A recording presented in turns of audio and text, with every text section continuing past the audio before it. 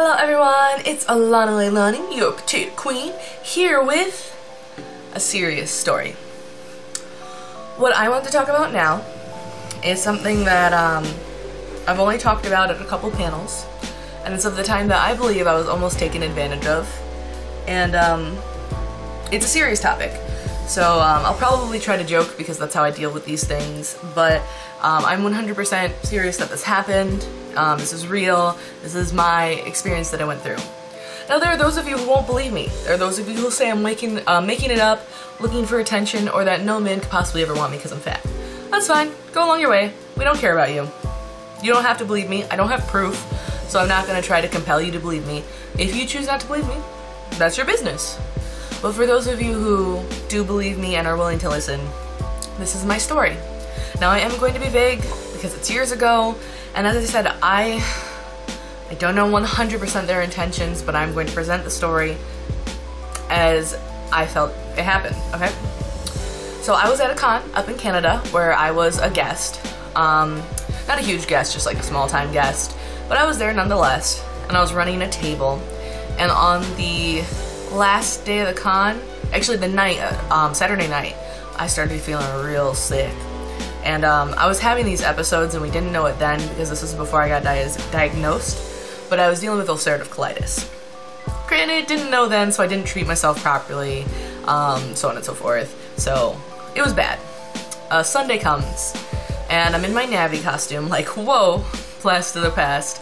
And I'm just, I'm barely holding it together. I am I am a hot mess. But we still have a panel and a showing um, later in the day, so I've got to I've got to stay, or at least that's what I told myself. My other friends, the other guests there, did not compel me to stay. It was all me putting pressure on myself. But um, anyway, so time passes and I'm feeling worse and I'm feeling worse and it's not getting better and it's like a burning, fiery pain. I go to the bathroom. I have an accident. Like it's really not a this is not a story where I'm gonna come out looking very nice. Uh, I was a hot mess. Um, my friend laid down a blanket and let me sleep behind the table. I passed out for hours. I felt better, woke up, went to our showing, and there was this guy who was like really hitting on me and like put his arm around me and stuff. And he was like half my size. He was maybe an inch or two shorter than me, probably weighed half as much as I do. But I was so hot and I was so tired and my stomach just hurt so much. I just didn't feel like fending him off, so I just like joked with him occasionally and just said like, uh-huh, mm-mm, mm. And then so um, my friends go to go get the car to pull around because I can't I can't walk to the garage. I'm I'm literally almost gonna pass out. I've got a fever and it's just it's not good. So um, they leave me. Um, they're really awesome trying to take care of me. Um, I really couldn't have asked for better people with me in that situation.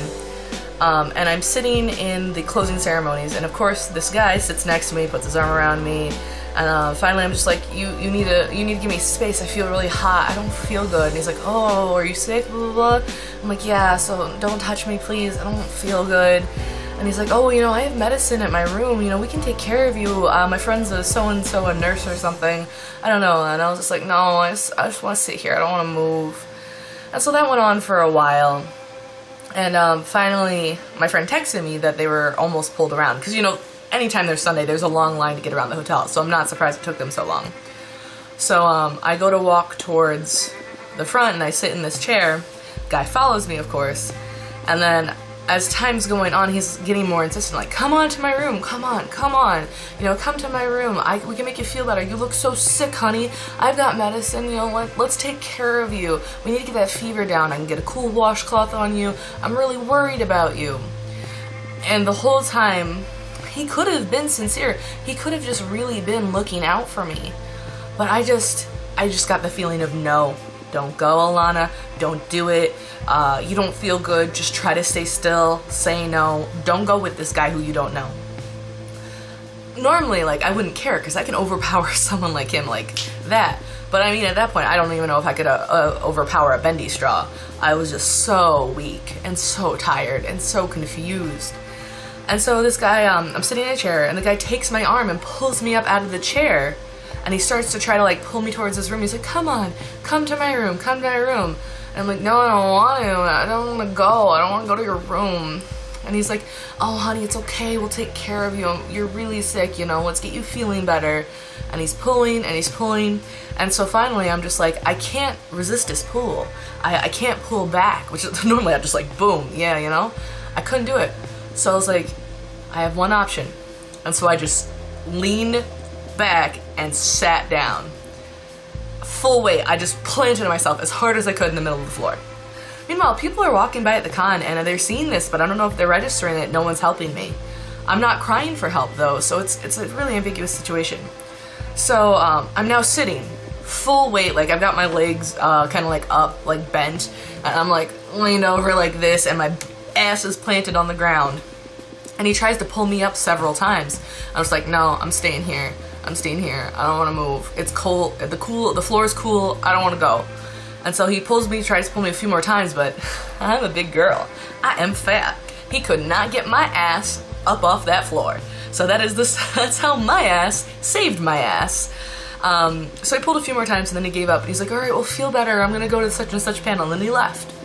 And um, I let him add me on Facebook because I'm stupid. And he was on my Facebook for a few years, but then finally unfriended me, thank goodness. And I, I, I was stupid for adding him, and I was a coward, but you know, whatever happens. But you know, I think back now, what if I hadn't been fat? What if I hadn't had enough weight put down for to plant myself? Would something have happened? Would he have taken me to his room and taken care of me? I don't know. I, he could have been a nurse from heaven sent down to tend to poor little Alana who hadn't didn't know that she had a disease yet. I don't feel like that was the case. I don't feel like that was the case at all, just with how insistent he was. And just, no one helped me.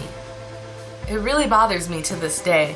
Granted, you know, I didn't make a lot of noise. I was confused and hot and just, I wanted to sit down.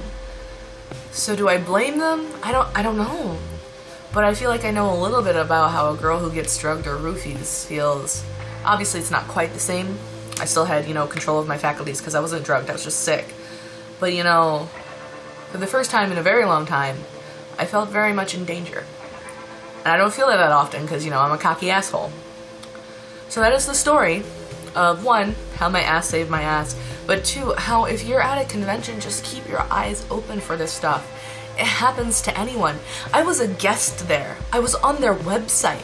I had panels. And no one no one stopped. No one thought anything was wrong. Maybe it didn't look like it was wrong on the outside. But um so yeah. That is the story. I don't know when this is going to re be released or if I ever release it because um it's a very serious topic and I don't want people to think, you know, I made it up for attention. I also don't want trolls getting into it and saying all the stupid shit that they do. Because normally I don't care about trolls because, you know, they're part of the internet and they usually just say it on their websites and they don't bother me about it. So, like, who cares? Let them do that. Let them say whatever they want. But this is something that still kind of scares me to this day that someone almost maybe did something really bad to me. And also, there's the uncertainty. Maybe he didn't mean anything bad. I don't know. So please, I hope you had a good week, but please be safe. Bye. Thank you so much for watching, and if you'd like to see more of my work in cosplay, feel free to follow my Facebook page at facebook.com slash the Alana Leilani. And if you like this video, feel free to drop a comment or like it, or even better yet, subscribe. Other than that, I hope you're safe and you have a great day. Bye!